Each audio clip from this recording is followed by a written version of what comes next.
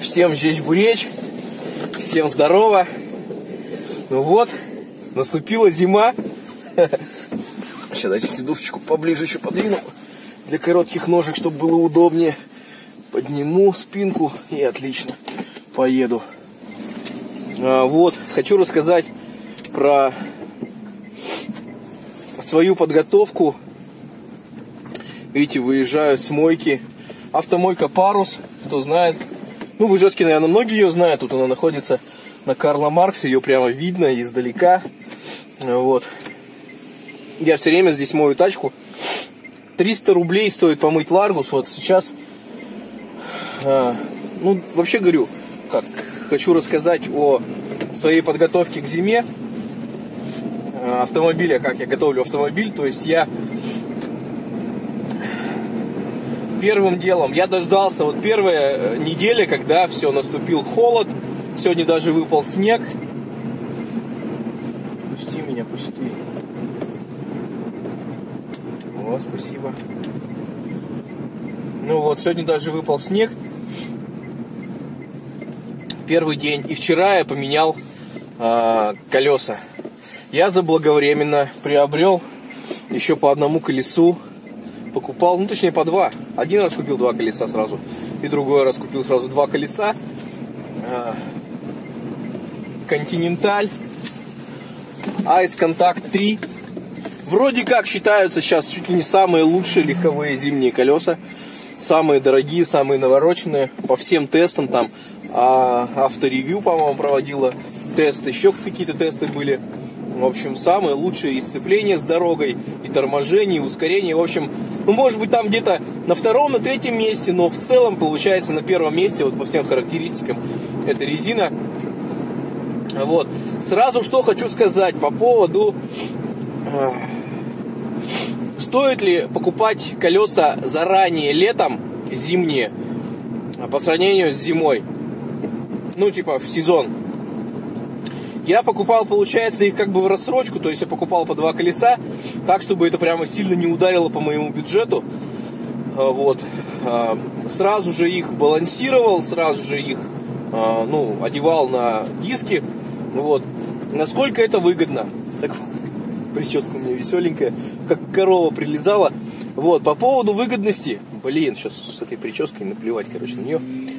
Вот, по поводу выгодности цена не поменялась. То есть вот я сегодня буквально просто проверить заходил на сайт много колес.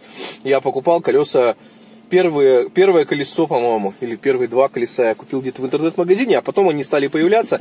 Эта резина новая, она только вышла буквально в этом году, поэтому ее нигде не было здесь в наличии. А уже в августе она была везде в наличии, я купил много колес. Два колеса еще. Вот. А, за 4 250 примерно вот так вот там. Плюс-минус 10 рублей. Сегодня заходил я на сайт много колес. 4 260, по-моему. Не хочу обманывать, но вот где-то так. То есть цена кардинально вообще не поменялась. А, поэтому смысла какого-то покупать колеса заранее, чтобы сэкономить, нет. Только чтобы вот взять в рассрочку и потом не стоять в очередях. Чтобы все было в наличии. Вот. А, что я сделал? Ну, единственное, конечно, я не стоял в очередях, когда вдруг вот сейчас неожиданно настали холода, колеса у меня уже лежали, подготовленные на балкончике, отбалансированные, все. Я спокойненько на обеде вынес, минут за 40 переставил все четыре колеса сам с ключом. Очень рад, что я сделал это сам и рекомендую всем это делать. Конечно, там сэкономило совсем немного денег. По времени, скорее всего, вышло бы так же. Потому что я бы стоял в очереди, я бы ждал. Сам процесс-то был бы быстрый, потому что у них и насосы пневматически очень быстро работают, да, и как бы инструмент есть, гайковерты, все вот эти, блин, трамвай меня сейчас задавит. Спасибо большое, что пропускаете меня. Вот. Но с учетом ожидания, с учетом дороги э, до этого места еще и очереди сейчас огромные. А, в общем, я только в плюсе, я думаю, по времени. То есть 40 минут это довольно быстро, чик-чик все сделал. Вот. Зато я затянул как надо. Я затянул от руки своим ключом. Причем он у меня раздвижной. Получается телескопический. Вот, и я затянул его, сдвинув специально, чтобы усилие было поменьше, потому что по-любому колеса еще э, посильнее притрутся, да, винты с, закрутятся во время эксплуатации, и, соответственно, как бы, ну, лучше, чтобы я мог их потом открутить, когда раздвину телескопический ключ. Вот. Еле-еле я скрутил летние, потому что вот мне их делали в шиномонтаже. Хоть я и говорил, чуваки, закрутите мне нормально, чтобы я смог их открутить на трассе. Пару винтов я буквально висел на них, прыгал на них, с учетом у меня телескопического раздвижного ключа. Был бы у меня обычный ключ, я помните, показывал вам, он просто загнулся и сломался. Э, штатный ларгусовский ключ. Поэтому очень круто, что я купил себе один раз э, хороший телескопический ключ. Но это огромное усилие, когда я еще вишу на нем прямо всем весом, прыгаю и не могу все равно открутить. Я, ну, я рассказывал, видео снимал про тот глазовский шиномонтаж, вот, поэтому не рекомендую туда никому ездить, и, соответственно, вот, как бы, не, неудивительно. Несмотря на то, что я стоял на душой и говорил, ребята, не затягивайте мне слишком сильно. Вот. А, что еще сделал? Одеяло вынес, э, автомобильная автоодеялка, еще на ласточке я его купил э, в последний год владения ласточкой. Вот, и уже вот вторую зиму я его принес. Дайте я вырублю тачку. И могу сказать, что очень круто, что я это сделал еще вчера, потому что вчера был стоял а, ясный, сухой, морозный день. Не было ни снега, ни дождя, ничего такого, но уже, был, уже было сухо, потому что поза, ну, пару-тройку дней назад были еще дожди, вот такая вот слякоть беспонтовая, да, вот, а тут как раз была сухая классная погода, и я нормально смог поменять все быстро, и сегодня выпал снег, и все, я уже по снегу, по льду езжу на новых колесах. Езжу медленно, в основном я специально еще для этого сделал, чтобы были не выходные, чтобы мало ли не поехать там э, к родителям, еще куда-то, чтобы по трассе не ехать 90, уже должна быть обкаточка, по-моему, там 500 что ли километров, или 900 ли даже километров, но я 900 на всякий случай отъезжу, обкатаю резину, но пока мне очень нравится пока очень нравится. Конечно же, по трассе ясно уже становится действительно, насколько хороша резина. И сейчас-то, по сути, наверное, даже на лете я бы катался более-менее, несмотря на то, что лед, лед и снег на улице, но, но на шипах прям вообще отлично. Отлично, по-моему, сцепление даже лучше, чем на летней резине летом. вот, хотя по шумности, конечно, шумнее, несмотря на то, что все говорят, ну, пишут, что Continental Ice Contact, типа, очень крутые в плане шума, да вот разговаривать можно во время движения, соответственно, уже шум нормальный. Я не знаю, какие там придирки, тут что-то пошумнее. Уши, может быть, у кого-то просто болят, поэтому они настолько сильно уделяют этому внимание. я ни разу не помню, чтобы я прямо ехал, и, знаете, меня напрягал шум. Ну, сначала, ну да, гул какой-то бывает, там, гул, э, ну, шуршание шипов. Но прямо, чтобы ты ехал и, и у тебя уши закладывают. Это нифига такого никогда у меня не было. Я думаю, что это не та, не та характеристика, по которой нужно оценивать шины. Если они имеют нормальное сцепление, ты, ты хорошо едешь, вылазишь э, из таких ям снежных, да, когда с, просто в снегу застревает машина, или по льду нормально машина рулится и управляется, то, в принципе, вот они главные характеристики. Чтобы быстрый разгон, уверенное управление, быстрая остановка. Ну, вроде как по этим характеристикам этих шины самое лучшее, соответственно, я хочу сделать обзор. Вот, и помыл машину, то есть тоже я стараюсь э, в первый день зимы, когда погода уже морозная, когда уже нет слякоти, нет дождя, нет грязи на улице.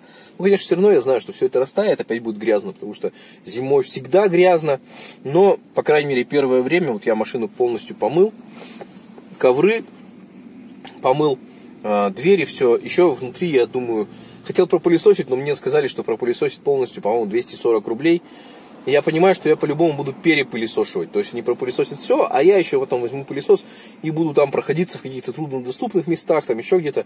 Ну, по-любому, так тщательно не пропылесосят люди, наемные работники, да, за 240 рублей, как это сделаю я. Поэтому я подумал, блин, ну туда уж я всю машину пропылесошу сам, мощным нормальным пылесосом. Вот, это обязательно нужно сделать тоже перед зимой. Поэтому я не стал брать А, но сделал, взял мойку колес. То есть я привез специально колеса летние, снял, вот они там лежат в багажнике, чтобы их помыли, чтобы они и по весне нормально балансировались без грязи, да, и чтобы, ну, и хранить было удобно. Ну, и многие моменты, может быть, вообще продам вместе с дисками, там, и диски нормальные, и резина, считай, новая. А, вот, может быть, продам, так продавать все равно лучше, чтобы были мытые нормальные колеса. Вот. И, блин, в этой автомойке парус машину помыть стоит 310 рублей, с коврами, с сушкой, с э, пеной, ну, совсем, да а, а колесо стоит помыть 60 рублей. Якобы стоит 80, но мне вроде сделали скидку, что народу нет. Потому что действительно я видел там выходные, там были прямо огромные очереди, я поэтому думаю, да нафига туда ехать, когда огромная очередь, лучше вот сейчас первый раз подморозит, и я поеду. А выходные еще были дожди, там, ну, было беспонтово. Я уверен, что все те люди, которые выходные мылись в очередях, они сейчас уже все грязные. Ну, скорее всего, там были в основном, конечно, не только на мойку, а больше на замену колес. Ну вот, такие мои первые впечатления, размышления, да, по поводу того, что я поставил новые колеса себе. Очень я ждал этого момента, когда наконец на новых а, крутых а, колесах я поезжу зимой, оценю Ларгусеночка. Пока давление накачал двойку, ну как на самом деле, не я накачал, а в хранении оно было двойка. То есть, э, когда вот я балансировал, накачивал, я говорил 2,4, но в основном все равно качали до 2. Вот.